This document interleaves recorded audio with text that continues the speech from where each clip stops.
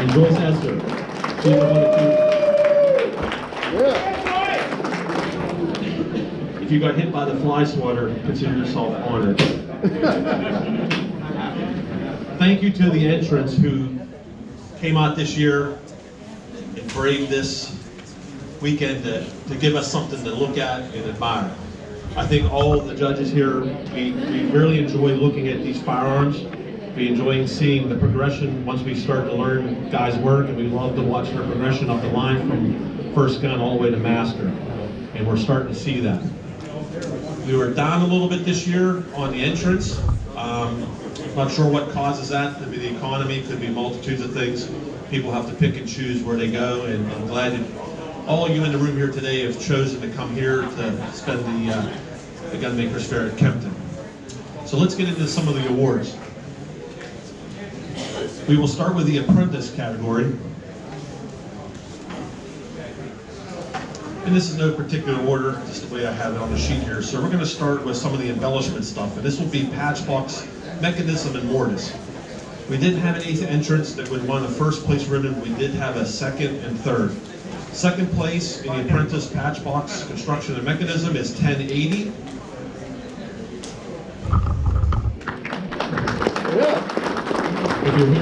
Come up and give us your name and what town you're from. Third place is 1070 in the apprentice.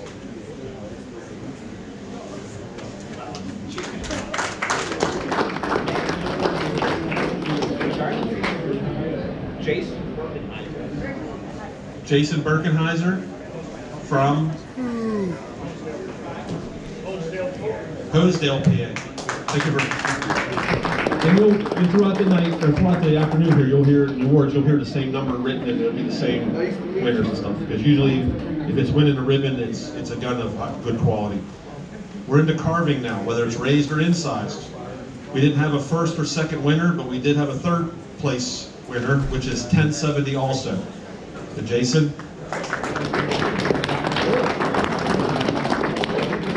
Same with engraving. We we changed the score sheets a few years ago to not hurt the maker for trying. So our score system went from obviously having a zero balance being a better scoring gun to a higher points. So we don't penalize you for trying carving and don't try engraving if there's not enough on the gun or if it's uh, not executed well enough to win a place. So you can still win basic conformation and craftsmanship, but you may not win an individual award in that event. So again, in the engraving, we encourage you, please try carving and engraving. We didn't have a first place or a second place also, but this time it went back to 1080 for the engraving. We don't know who that is. That is a copy of a Mel Melchior Fordney. So, who that was.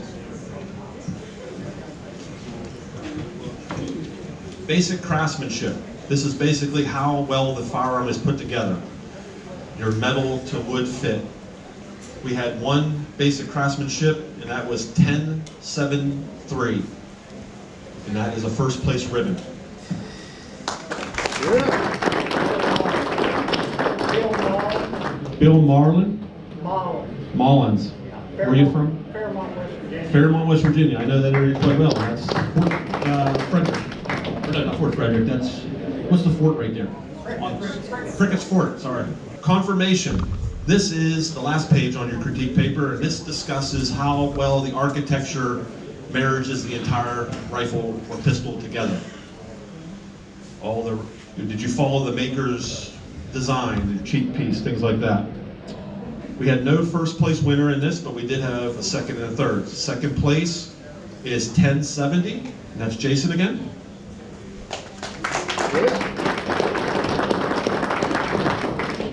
And then we had third place, 1073. That's a new number. Oh, it's Bill again? Oh, he's right. You were sorry about that. Bill. Very good. Very good. Okay, we had no military.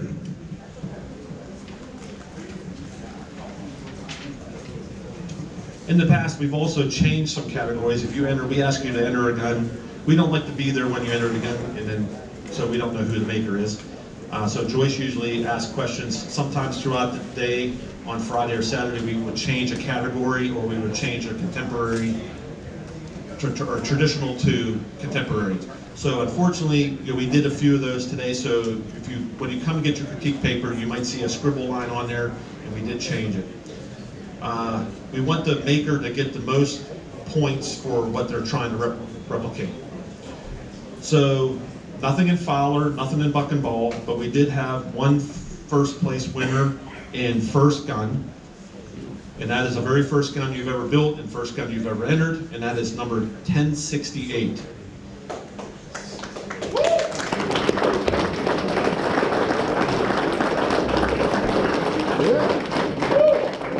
Name? Mike Hubbard. Mike Hubis. And where are you from? Rockville, New York. Knock Hill? Rock Hill. Rock Hill, New York. Thanks for coming. Thank you.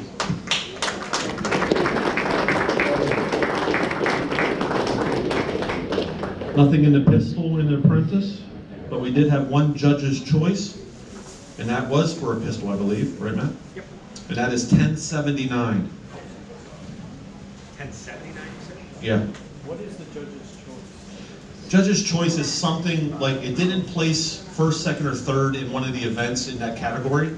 Because we do judge the pistols also with the rifles as far as craftsmanship and conformation and embellishment work, maybe engraving and stuff. But it's something that caught our eye on the gun that it won a ribbon, which is a judge's choice, so it means something that we, we liked it. But it didn't get just a participation award, but it actually got an award because there was something on it we liked, whether it was the finish, the architecture, you know, the styling. Executed well, like really good metal to finish. I'm not gonna say it's a fourth place ribbon, but it's a fourth place ribbon. You understand? That's a nice way of saying it. But do we know who the 1079 was? John Beck. John Beck? Yep, that's right. Where are you from? South Central Pennsylvania. South Central Pennsylvania. Thank you for entering.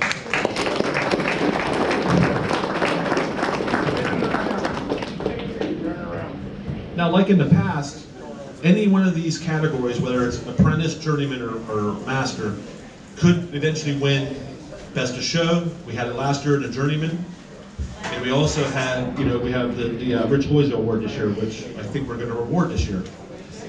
But we also give uh, best of class for each division. And this year we have a contemporary winner in best of class, and we have a traditional winner in best of class.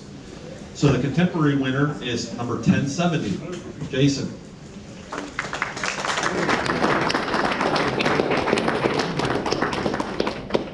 Then the traditional winner is 1080. Ford me. the Ford. That completes the apprentice. Okay, we'll now get into the journeyman. Patchbox Construction and Mechanism and Mortise. First place, Ward 1071. I have written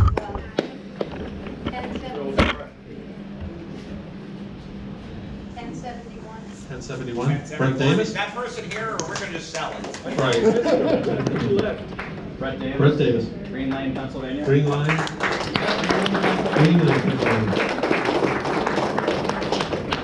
No second or third place? Okay, uh, raised carving incised or raised. First place, stay there. 1071, Brent Davis again, Greenland, Pennsylvania. No second place raised carving, but we did have a third, and that would be 1076. Okay, got a new one. Good. Bill McCarthy. Bill McCarthy, where are you located from? Northern Bucks. Northern Bucks County, good. We only had one entrance that was considered uh, a journeyman engraving, and that was number 1076 also.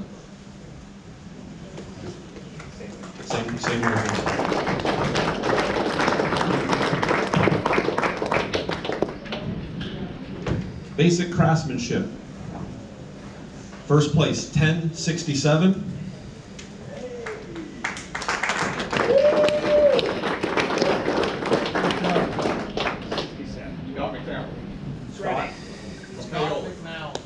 Scott McNally from Paoli, Pennsylvania.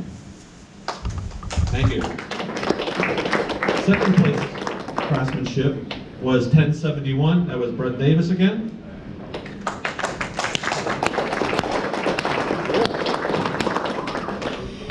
Nothing for third. Conformation, we had no first, no second, but we did have a third, and that was 1071, Brett Davis again.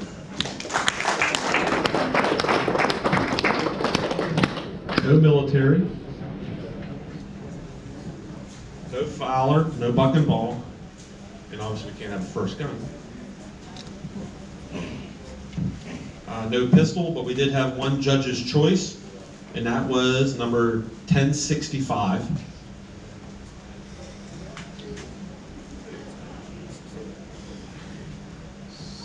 Purple ribbon. Should have a purple ribbon. Has to be a pistol. Yep. May I know that? 1065. Name? Carlisle. I mean, I know he's from Carlisle, but I didn't hit the first name. Richard. Richard. Richard. Congratulations, Richard.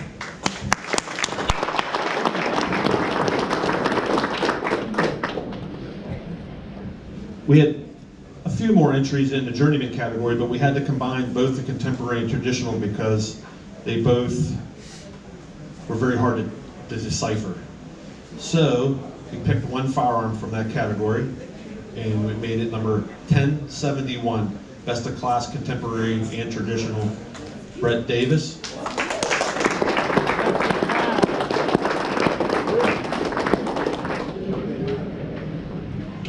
And that ended the awards for journeyman. Now we get into the master category, which was very difficult for us. We went back and forth, even including today, on some of these guns. So master category, patch box, construction and mechanism and mortise. The first place winner was 1069. Yeah. Tom Groller. Morgantown. Olmeston. Yeah. If you get a chance after um, we gave everybody their firearms back and critique sheets, if you let them open that, that patch box, I did open it for a few guys, see how that's constructed, unbelievable.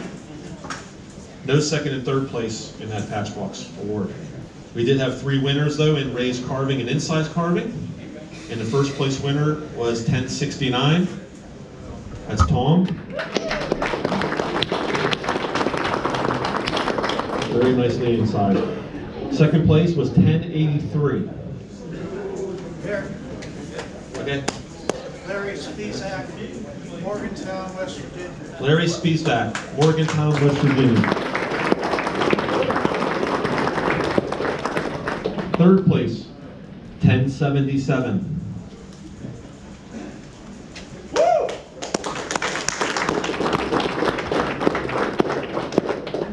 Tom Castor, Tom, Southern Michigan. Southern Michigan.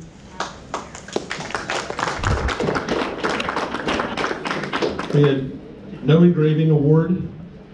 Some of the guns didn't have enough engraving, and some of them would, were, uh, we decided not to award. Basic craftsmanship. First place winner, 1069. Hannigan. Second place, 1081. Here, Mike. 81. I think that's the pistol. Uh, John Caselica.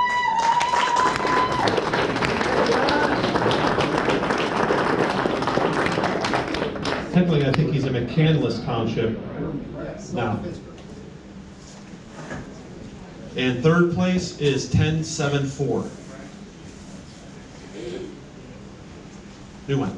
Alan Trifler. Alan Trigler, Northampton, Pennsylvania. Northampton, Pennsylvania. Northampton, Pennsylvania.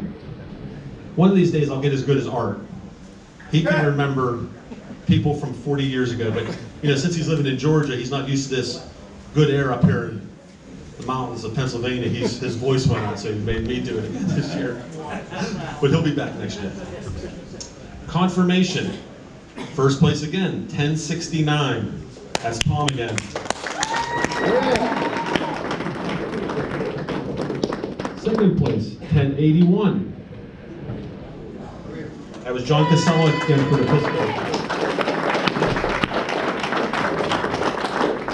And third place was 1074. Alan Treichler. Dawn, North, Northampton, Pennsylvania. Northampton, Treichler? Treichler, yeah. Don Treichler, Northampton. No, Alan Treichler. Oh, Alan about that. Nothing for Miller. So we have a lot of empty spaces here, so go out and build a Fowler, go out and build a bucket ball. It's already in the works. We'd really like to see them. Good. We had Good. one award for pistol, and that's 1081. That's a first place ribbon for pistol. That's John Casella again. for. And you had a judge's choice in 1075 in rifle. Alan. Treichler, Northampton, Pennsylvania. Northampton, Pennsylvania. And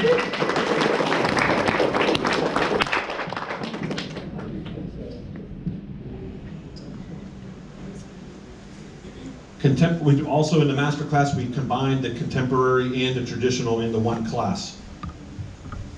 Obviously, when you come to the fair, we have to judge you against your competition. So when we get not enough rifles, as we did last year, we have to consolidate, you know, to try to make it more of a competition. So we combined them together. That's what I tried to convey the last time I said that. I hope if it came off too brash. We have one winner, and that is 1069 rifle. That's Tom.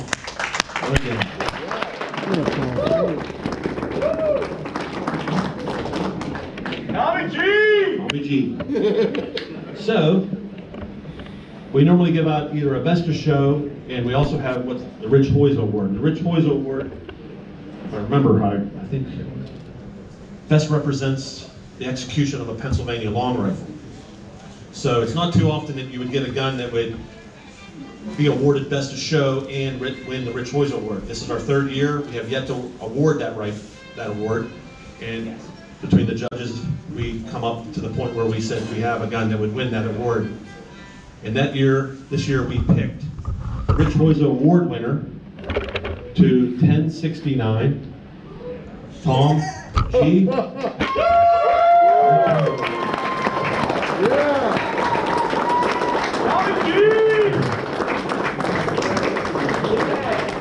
Congratulations, buddy. So, Rich was, like on the accoutrement side, was the guy on the gun side who was one of the founding starters and members of the gun judging when the gun judge, uh, the fair started. So all, all of us have known Rich for many, many years, at least 30 years, and we all sat and he mentored us. So it's not like we don't know what he meant and what he means to us, and that's the type of guy he was. So it makes me kind of upset that he's not here. So, and uh, everybody misses him. He's in your program. He's always honored. The guys get together and make sure he's in there, and we really miss Rich. So, um, other than that, um, if you bring your ticket and make sure you sign it, don't sign it until you get up here with Joyce.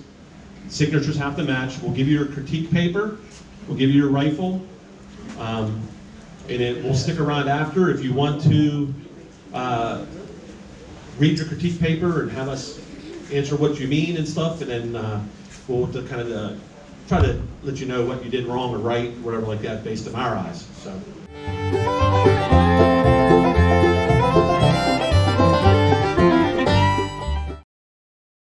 Okay, so open her up.